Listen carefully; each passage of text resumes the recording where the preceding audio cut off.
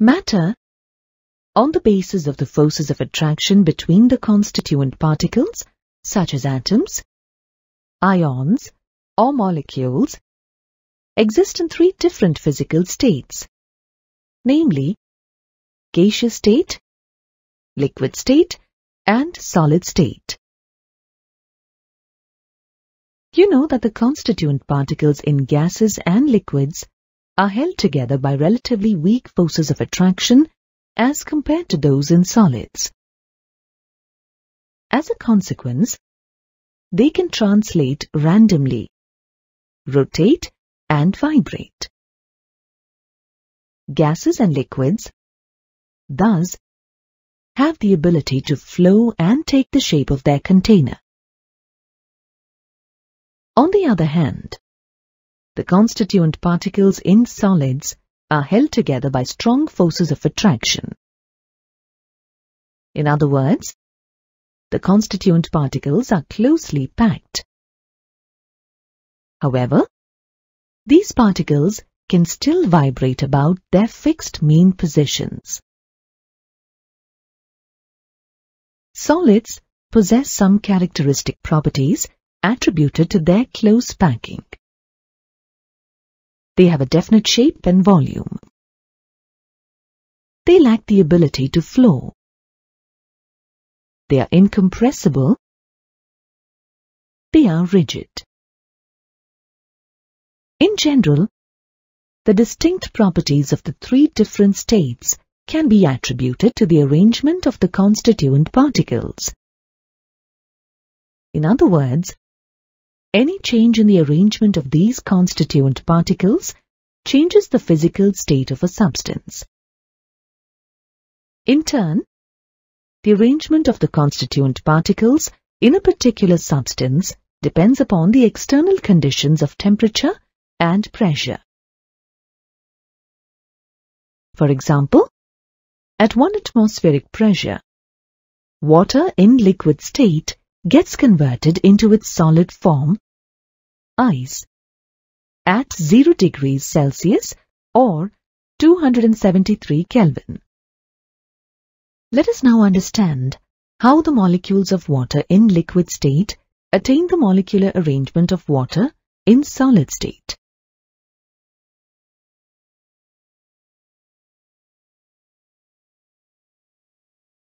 On cooling, the potential energy of the liquid molecules is released in the form of thermal energy. As a consequence, the space between the molecules decreases and the intermolecular forces of attraction increase. Also, the molecules lose their translatory movement and rotatory movement and they can only oscillate about their fixed mean positions. Thus, the molecules of the liquid attain the molecular arrangement of the solid. Let's take a quick look at how the structure and properties of a solid are correlated to one another. The nature of the constituent particles, the forces of attraction between them, and their arrangement together determine the structure of a particular substance. The properties of any solid substance ultimately depends on its structure. Hence, any change in the structure of a substance changes its properties. For example, the conductivity of silicon increases with the addition of impurities such as arsenic. So, a solid with the desired properties can be prepared by altering its structure. Some solid materials that were prepared for applications in various fields are superconductors, such as intercalated compounds of fullerenes, certain ceramics, synthetic biopolymers such as PHBV and PLA, and carbon nanotubes. Hence, the study of the structures of solids has immense significance in science and technology. Based on the arrangement of its constituents, solids are broadly classified into two categories. They are crystalline solids and amorphous solids. Crystalline solids have an orderly arrangement of their constituent particles, such as atoms, ions, or molecules in three dimensions. They are arranged in an orderly manner to give a definite geometry to the crystal.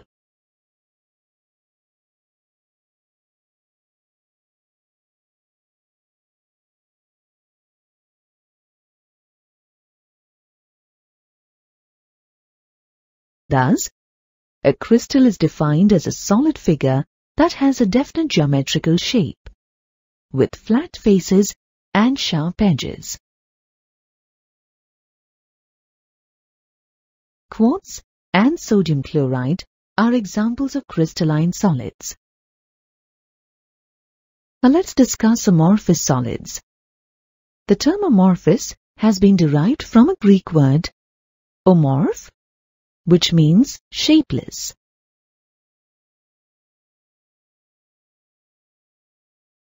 An amorphous solid consists of a number of constituent particles arranged in a random manner. Thus, amorphous solids do not have any definite geometry. There is short-range order, which means that there is an irregular arrangement of particles that repeats itself to a certain extent only. Glass, rubber, and plastics are examples of amorphous solids. In many respects, these solids resemble liquids. They flow very slowly at room temperature and are regarded as supercooled liquids in which the forces holding the molecules together are so great that the material is rigid. But there is no regularity in the structure. The flow of these solids is clearly observed in glass panes fixed to the windows or doors of old buildings. These are found to be slightly thicker at the bottom than at the top. The best example of crystalline solid is quartz, and of amorphous solid is quartz glass. Their arrangement is shown here. From these two images, you can clearly observe that both solids have similar arrangements. However, in quartz glass, there is short-range order. A crystalline solid has a sharp melting point. That is, when it reaches its melting point, it immediately changes into liquid form. These are considered true solids. Amorphous solids do not have sharp melting points. These soften over a range of temperature and can be molded and blown into various shapes. These solids behave as crystalline at a certain temperature. These are considered pseudosolids or supercooled liquids.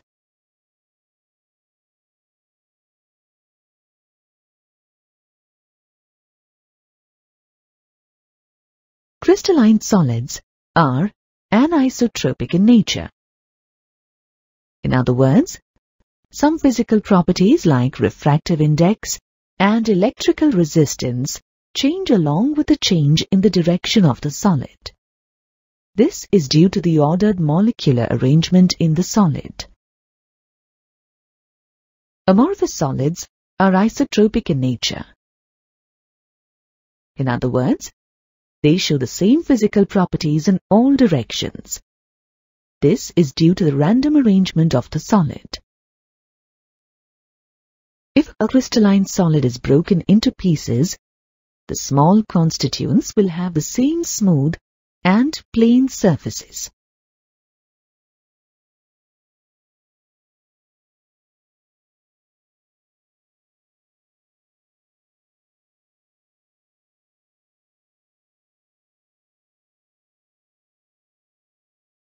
Crystalline solids have definite heat of fusion values, while amorphous solids do not.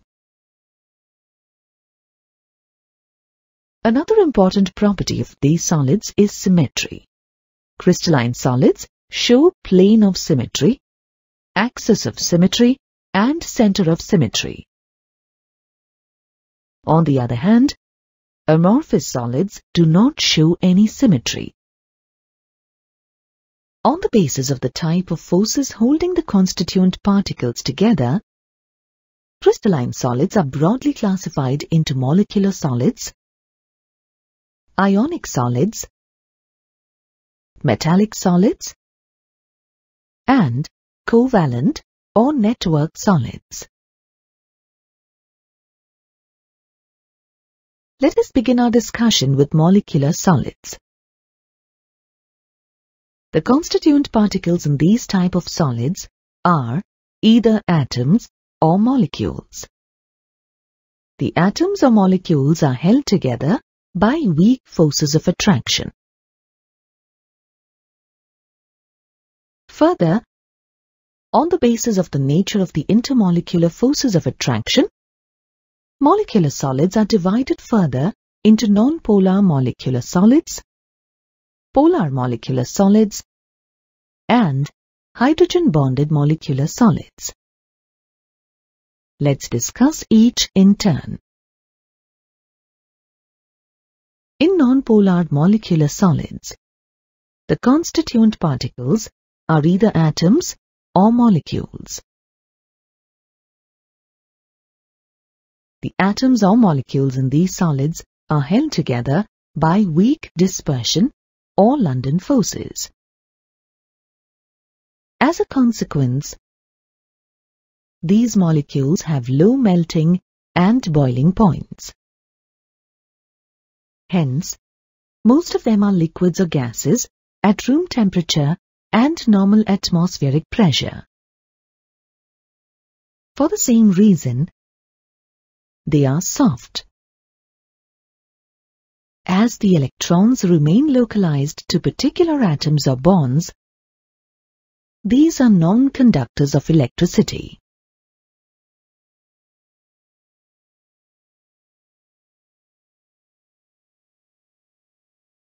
On the basis of the type of forces holding the constituent particles together, crystalline solids are broadly classified into molecular solids, ionic solids, metallic solids, and covalent or network solids. Let us begin our discussion with molecular solids. The constituent particles in these type of solids are either atoms or molecules. The atoms or molecules are held together by weak forces of attraction. Further, on the basis of the nature of the intermolecular forces of attraction, molecular solids are divided further into non-polar molecular solids, polar molecular solids, and hydrogen-bonded molecular solids. Let's discuss each in turn. In non-polar molecular solids, the constituent particles are either atoms or molecules. The atoms or molecules in these solids are held together by weak dispersion or London forces. As a consequence, these molecules have low melting and boiling points. Hence, most of them are liquids or gases at room temperature and normal atmospheric pressure. For the same reason, they are soft. As the electrons remain localized to particular atoms or bonds, these are non-conductors of electricity. In polar molecular solids, the constituent particles, molecules, are formed by polar covalent bonds.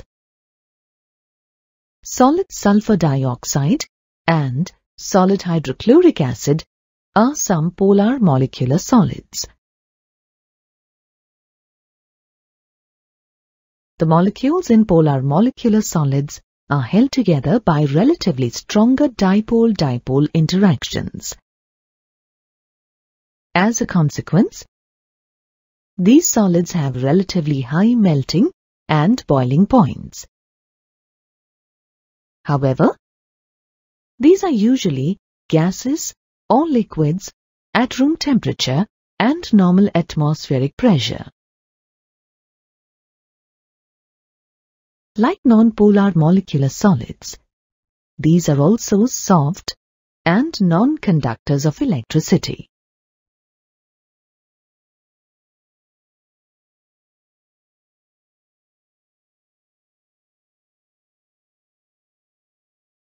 In hydrogen-bonded molecular solids, like polar molecular solids, the constituent particles, molecules, are formed by polar covalent bonds.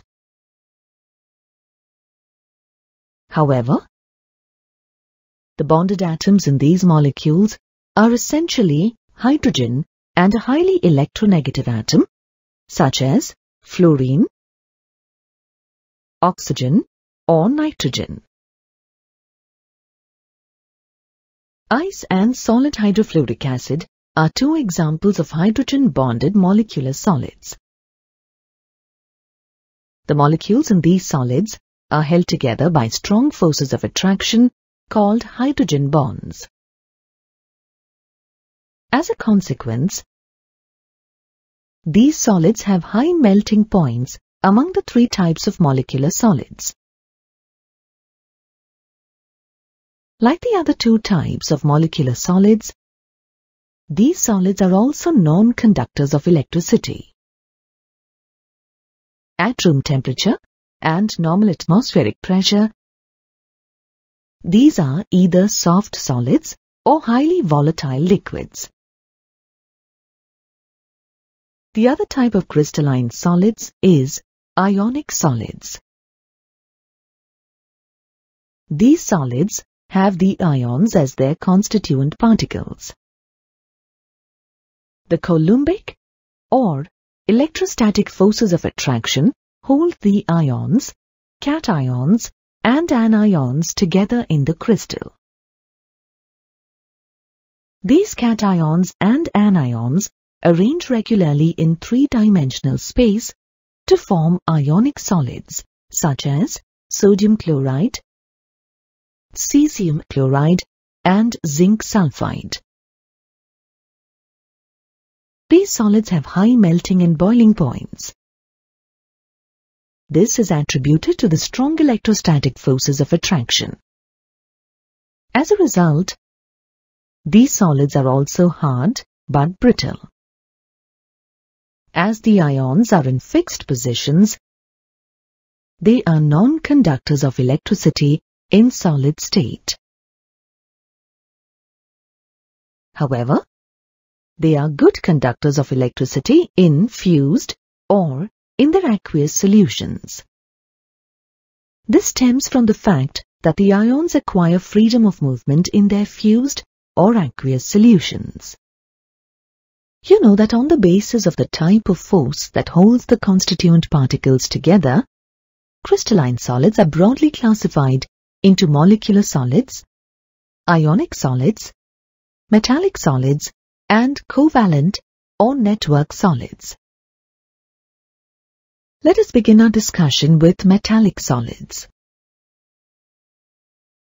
In metallic solids, the metal atoms, such as copper, iron, silver, and magnesium, lose their valence electrons to the crystal as a whole. These solids are merely a collection of positive ions surrounded by and held together by a sea of electrons. Hence, the constituent particles in a metallic solid are positive ions in a sea of delocalized electrons. The electrostatic forces of attraction between the positive ions and the electron cloud constitute the metallic bonding, which holds the positive ions together. These electrons are not localized on any atom, but rather delocalized uniformly over the entire crystal. These free and mobile electrons make metallic solids good conductors of electricity and heat. The electrons flow through a network of positive ions when an electric field is applied. Similarly, when heat is supplied to one corner of a metallic solid, the free electrons spread the thermal energy evenly throughout the solid. The presence of free electrons also accounts for the luster and color in some cases. Metals are highly malleable and ductile. Metallic solids have fairly high melting and boiling points. The other type of crystalline solids is covalent or network solids. The constituent particles in these solids are atoms. These atoms are held together in large networks by covalent bonds. This interlocking network of covalent bonds extends throughout the crystal in all directions. Hence, covalent solids are also called network solids. They are also termed as giant molecules.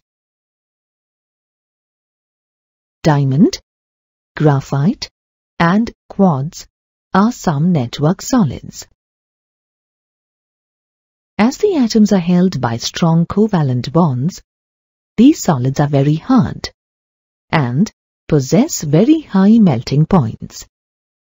These solids are non-conductors of electricity except for graphite.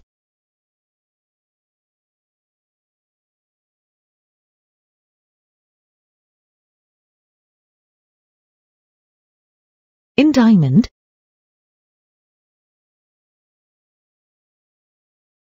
each carbon atom is bonded tetrahedrally to four other carbon atoms.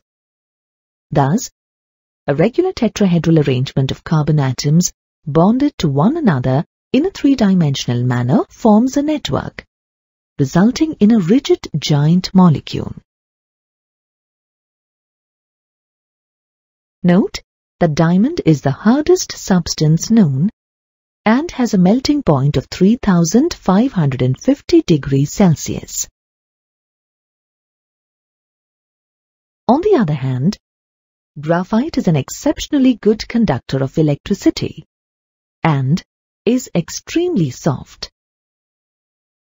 In graphite, each carbon atom is bonded to three other carbon atoms resulting in hexagonal rings, which, when repeated throughout a plane, form sheets or layers.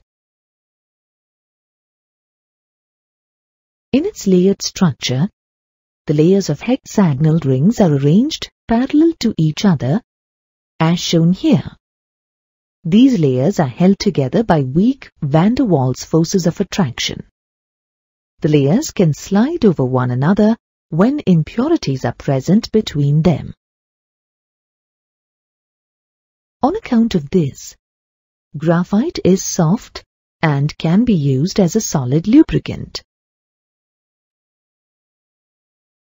As each carbon atom in graphite is bonded to only three other neighboring carbon atoms, the fourth valence electron is free to move about in different layers. Thus, the free mobile electrons account for the exceptional electrical conductivity in graphite.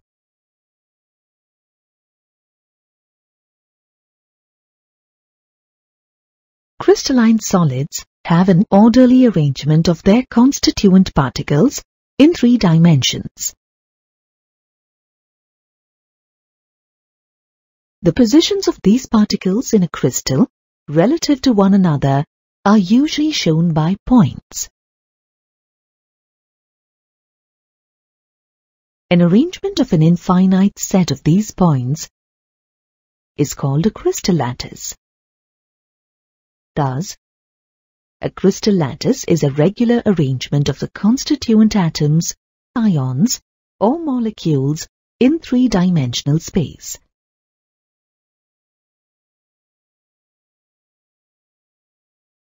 Sometimes, a crystal lattice also called a space lattice or simply a lattice there are only 14 possible three-dimensional lattices and are called Bravais lattices. After Auguste Bravais, a French mathematician who first described them. Now let's look at the characteristics of a crystal lattice.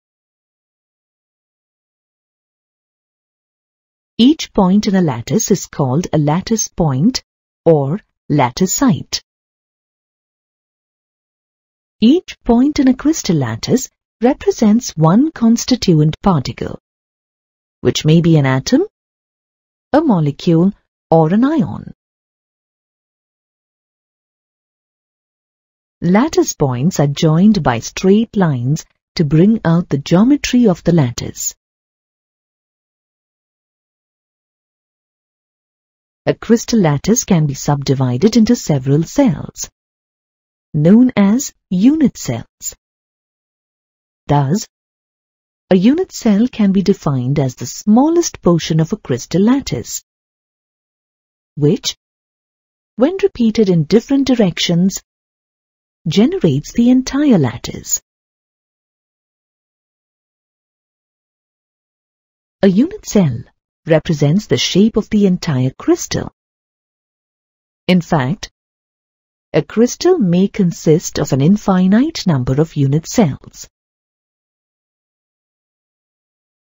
A unit cell is characterized by distances A, B, and C along three edges and angles alpha, beta and gamma between pairs of edges.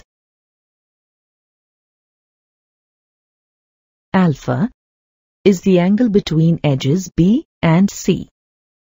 Beta is the angle between edges C and A, while gamma is the angle between edges A and B as shown here. Edges A, B and C may or may not be perpendicular to each other.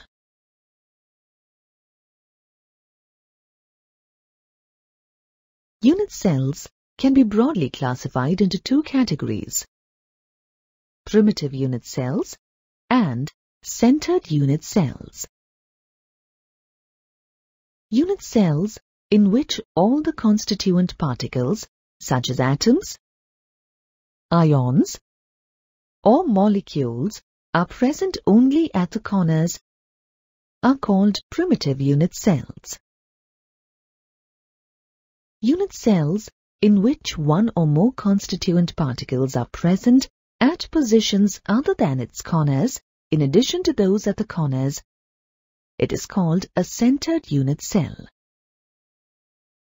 Based on the position of the centered constituent particle, centered unit cells are categorized into three types. Body-centered unit cell, face-centered unit cell, and end-centered unit cell.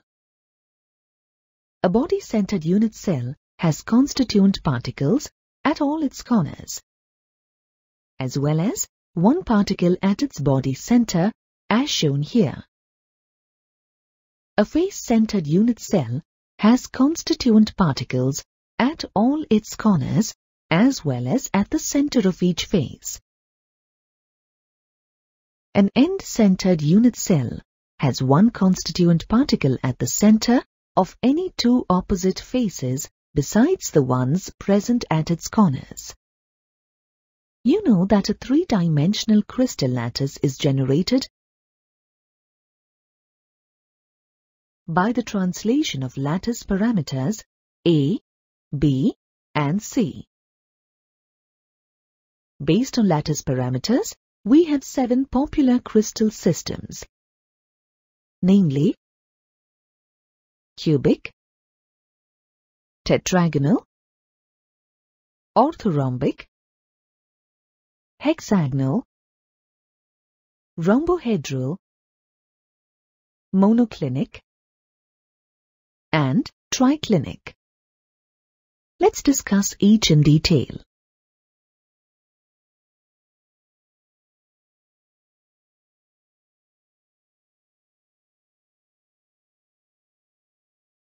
In a cubic crystal system, all the three axes are of equal length and are at right angles to each other. The possible lattices are primitive,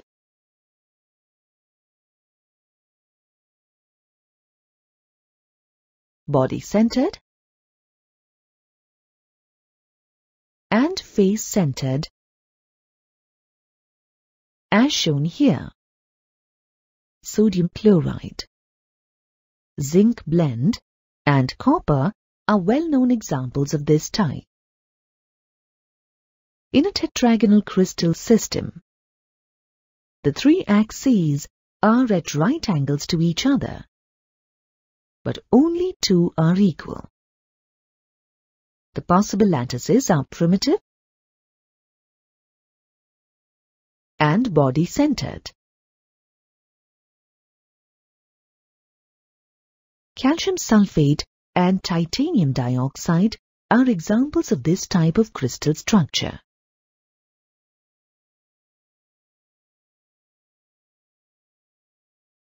In an orthorhombic crystal system, the three axes are unequal, but all axes are at right angles to each other.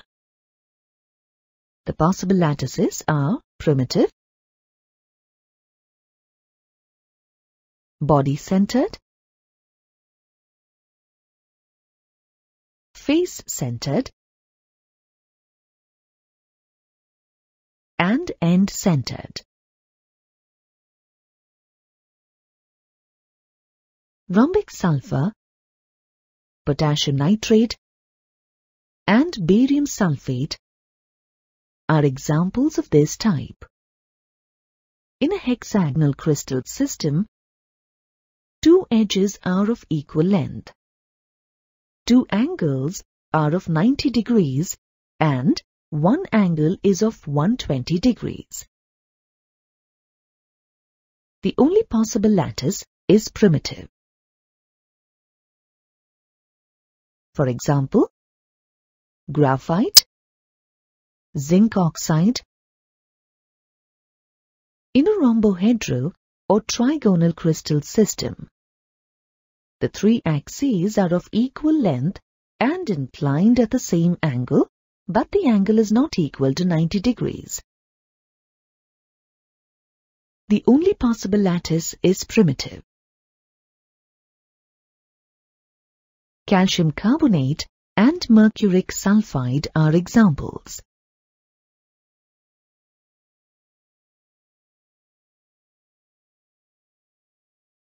In a monoclinic crystal system, the three axes are of unequal length and only two angles are of 90 degrees.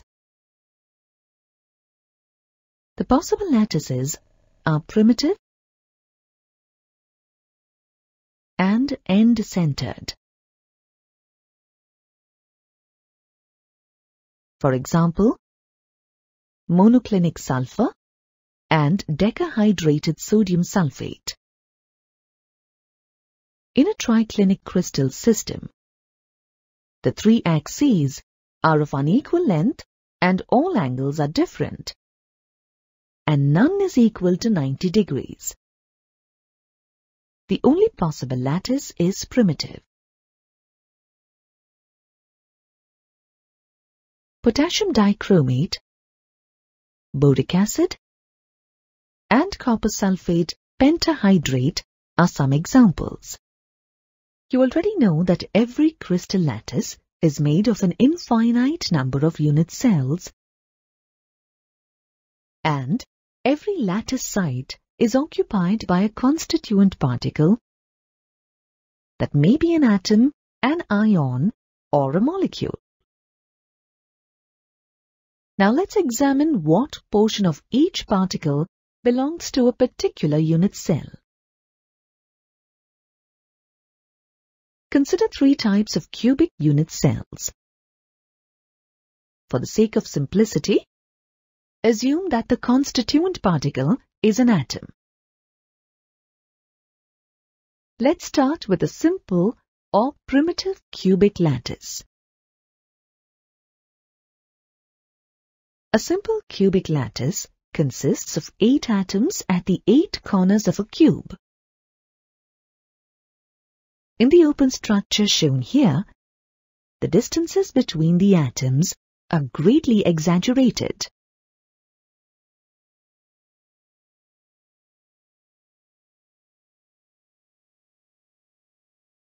In reality, the atoms are packed much more closely together as shown in the space-filling model here. The space-filling model shows that the atoms touch along the edges of the cell.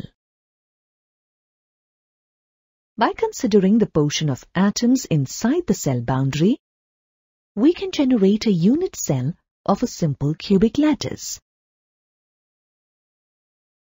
From this, it is evident that each atom at the corners contributes one-eighth of its original volume to each unit cell.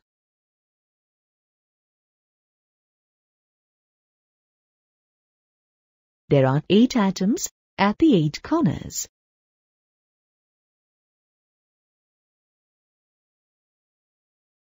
Thus, the number of atoms in each unit cell is equal to 8 corner atoms into 1 by 8 of an atom per unit cell, which is equal to 1.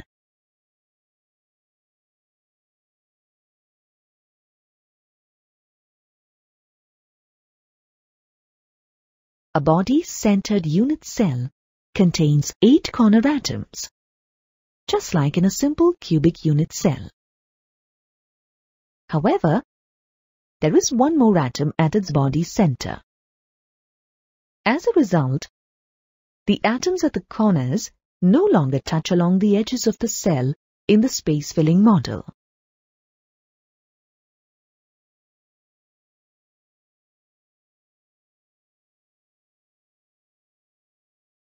The unit cell of a body-centered cubic cell is shown here.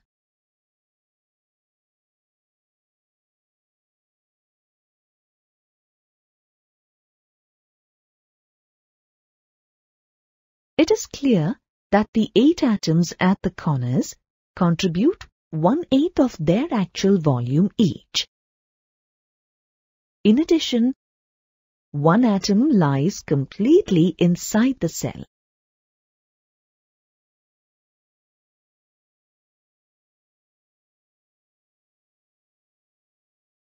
Therefore, the number of atoms at the corners per unit cell is equal to 8 corner atoms into 1 by 8 of an atom per unit cell, which is equal to 1.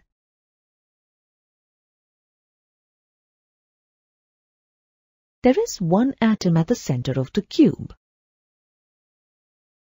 Thus, the total number of atoms in a body-centered cubic unit cell is 2.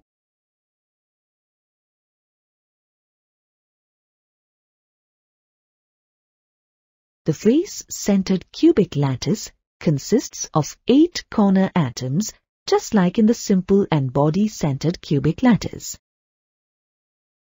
However, it also contains six more atoms at the six faces of the cube cell.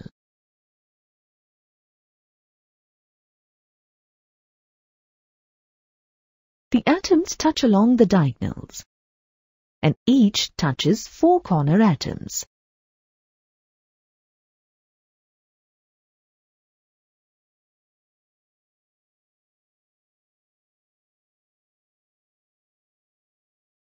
A unit cell of a face-centered cubic cell is shown here.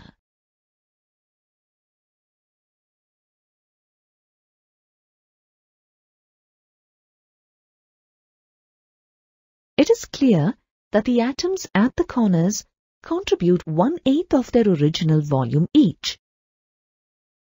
In addition, there are six atoms at the six faces. Which contribute half of their original volume each.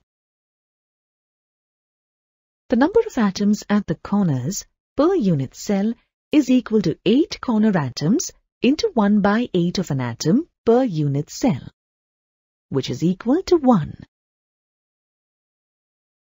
The number of atoms present at the faces per unit cell is equal to 6 atoms at the faces into half an atom per unit cell, which is equal to 3.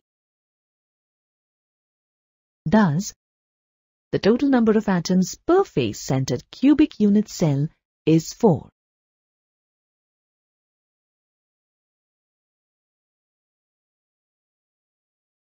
When substances form solids, they tend to pack together to form ordered arrays of atoms, ions, or molecules. Let's see how this order arises and what different kinds of arrangements are possible. Many a times, oranges or apples stacked nicely on a vendor's cart catch your attention. It is a practical application of close packing.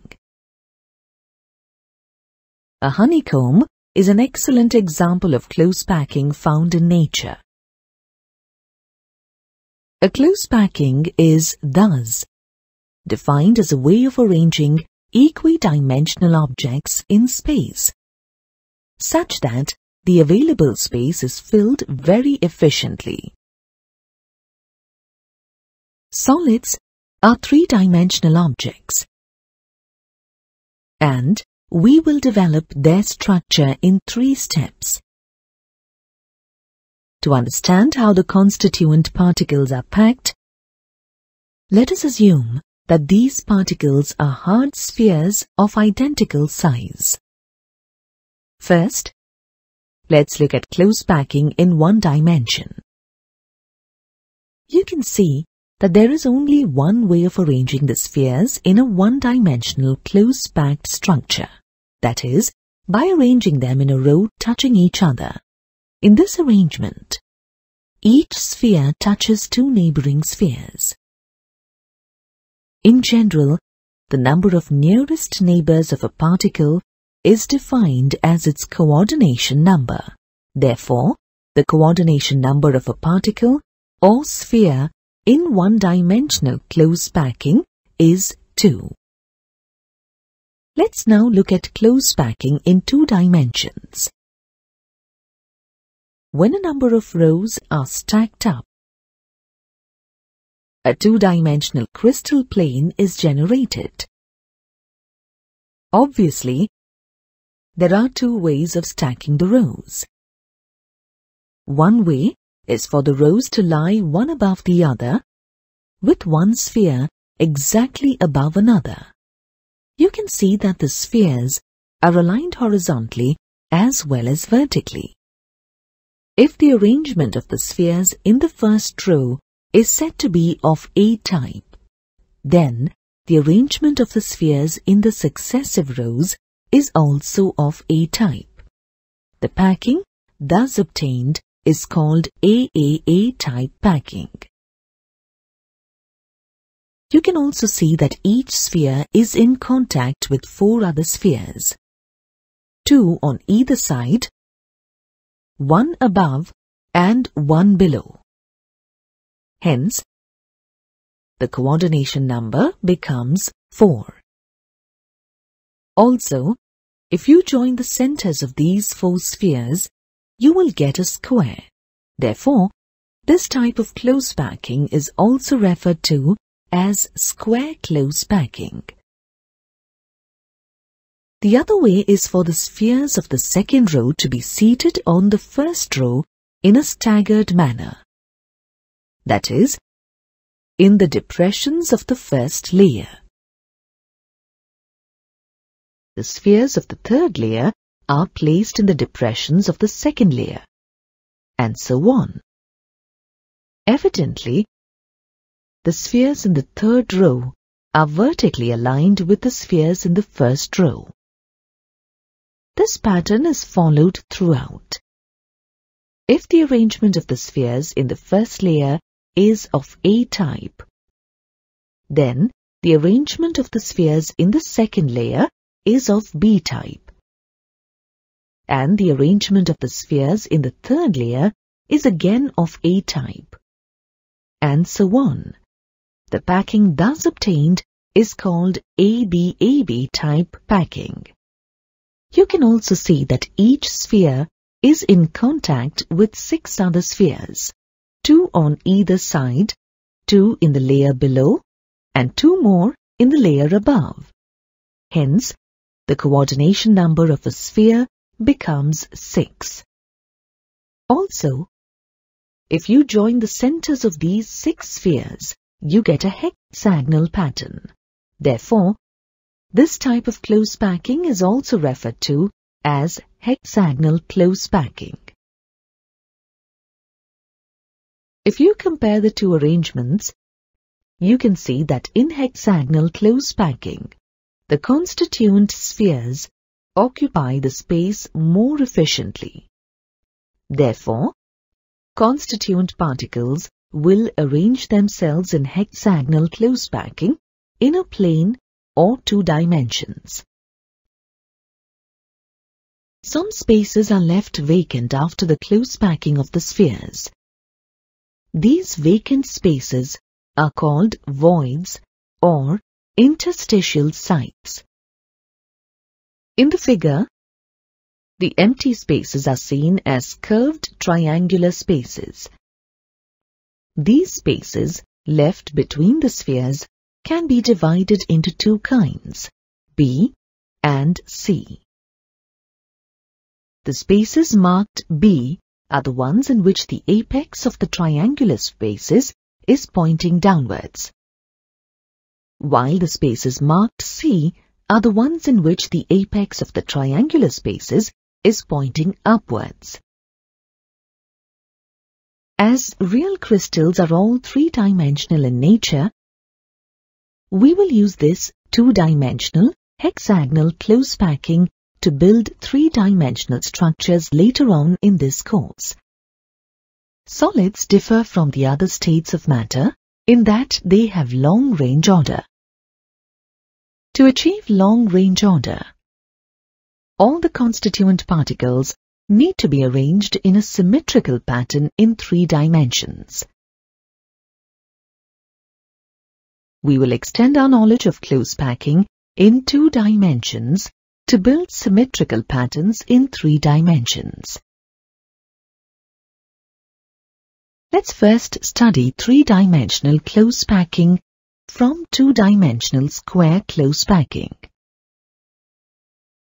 In order to build a three-dimensional structure, it is easier to stack two-dimensional square close-packed planes one above the other. As you can see, the spheres are aligned horizontally as well as vertically. If the arrangement of spheres in the first layer is considered to be of A-type, then the arrangement of spheres in the subsequent layers is also of A-type. This three-dimensional arrangement is referred to as AAA type packing. If you look carefully, you will find that this arrangement has resulted in the formation of a simple cubic lattice. The unit cell of this lattice is a primitive cubic unit cell.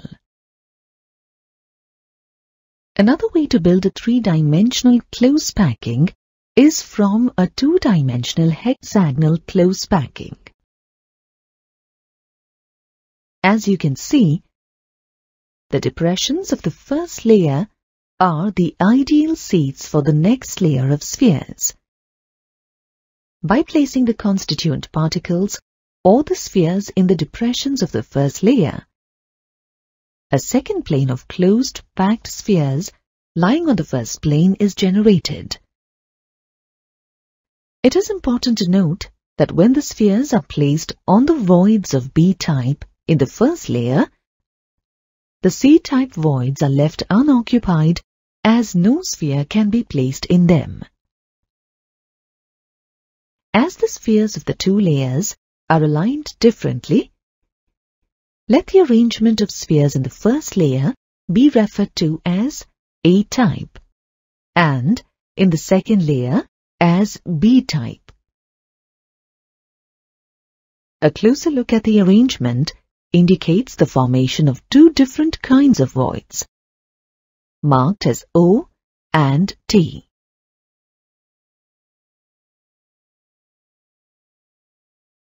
If you look carefully, you will find that this arrangement has resulted in the formation of a simple cubic lattice. The unit cell of this lattice is a primitive cubic unit cell. Another way to build a three-dimensional close packing is from a two-dimensional hexagonal close packing. As you can see, the depressions of the first layer are the ideal seats for the next layer of spheres. By placing the constituent particles or the spheres in the depressions of the first layer, a second plane of closed packed spheres lying on the first plane is generated. It is important to note that when the spheres are placed on the voids of B-type in the first layer, the C-type voids are left unoccupied as no sphere can be placed in them. As the spheres of the two layers are aligned differently, let the arrangement of spheres in the first layer be referred to as A-type and in the second layer as B-type. A closer look at the arrangement indicates the formation of two different kinds of voids, marked as O and T.